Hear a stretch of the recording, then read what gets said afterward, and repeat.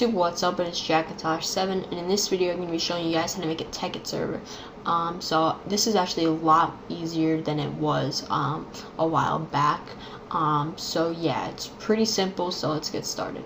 Uh, first things first, go to the link, go to the link in the description and uh, I'll bring you to a um, technicpack.net um, and slash Tekkit and then you're going to want to go to download the Tekkit server right here and we're just going to put that to the side wait for this to be done downloading um, and then when it's done downloading which it is right now we're going to click and drag it to our desktop now we can uh, minimize Google Chrome or just close it um, or whatever internet browser you're using.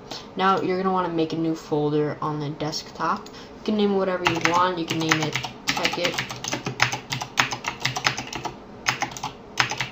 server and drag this in. Now open that up and we're going to want to right click and hit extract here. Um, so yeah, now we're going to want to delete this. Make sure you delete it. Um, that will slow your server down. And then you're going to want to hit launch. Just double click it. And uh, yeah, it's just going to generate the world and build all these files. As you can see, we just whole bunch of files just popped up. So it's just going to do that. And uh, yeah, right now it's building um, the world itself. So yeah, let's uh, wait for this to uh, be done. It's almost done, so I'm just going to pause. Alright, so finished. Now what we're going to do is write stop And then we're just gonna wait and now we can hit enter again to, and it'll close that so alright I'm gonna show you guys how to change the amount of RAM in a different video um, that's a little more advanced but um, so yeah now you actually have a working server so to test it what you're gonna want to do is run it again so run it put that over there and launch tech Tekkit um, as you can see, it took a lot. It was a lot faster this time than last time. Um, then we're going to want to go to Technic Classic, hit login. And I'm going to also be showing you guys how to port forward, as you can probably see in the uh, title. Um, so yeah, no Hamachi for this, which is a good thing. Um, in, I, in my opinion.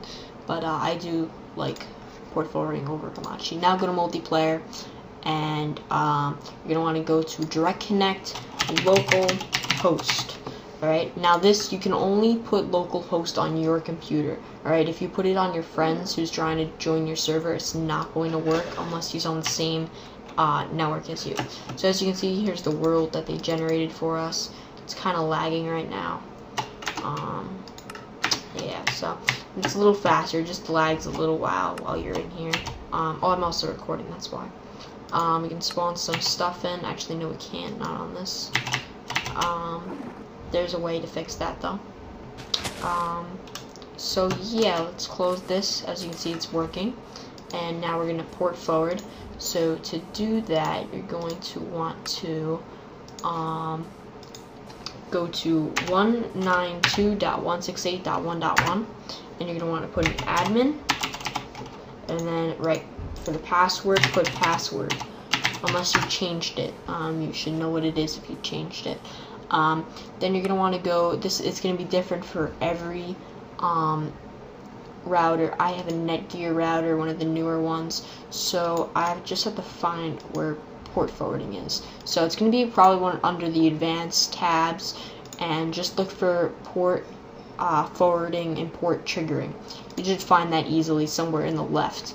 Alright, now what this is going to do is let everybody who wants to join your server join your server. Alright, um, if we didn't do this, then your friend who lives down the street couldn't join your server.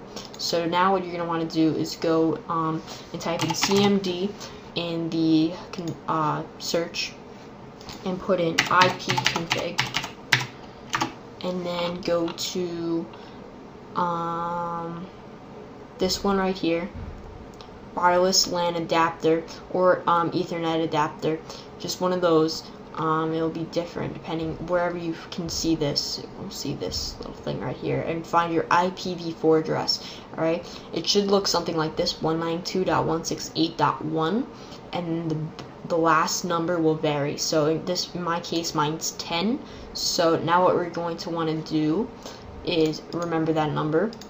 Um, remember it ends in 10 now we're going to want to go to add custom service and we're going to leave that the same service type. We're just going to name it whatever. In this case Tekkit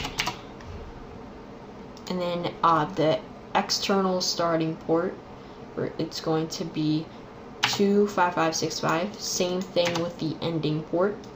And then leave that the same leave this the same.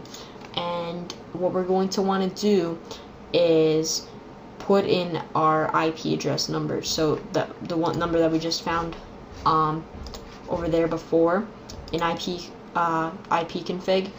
Um, we're going to want to put that in here. So just write dot ten. Like I said, it's gonna be different for everybody. So your yours might be dot ten like me, but um, yeah.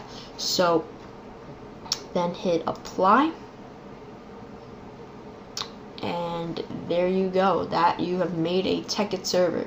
So now you're probably wondering what you put in. Um, what number you put in um, to get into the server. So what you're gonna want to do is go to IP chicken. Just search yeah just search IP chicken. Um, and it will come up with this blue number which I'm actually going to be blocking out because of security purposes. You really don't want to give people this so you might want to hide this by doing um, something which I'll do in a different tutorial. But um, this will be the IP address that you'll give people to join your server um, so yeah, it's really for this video. It was a quick little video on how to make a Tekkit server. Hope you guys enjoyed. I will be doing a regular Minecraft and a um, Voltz server in a little while, and I will do a Mac version of each. So hope you guys enjoyed. Thanks for watching. Please rate, comment, and subscribe.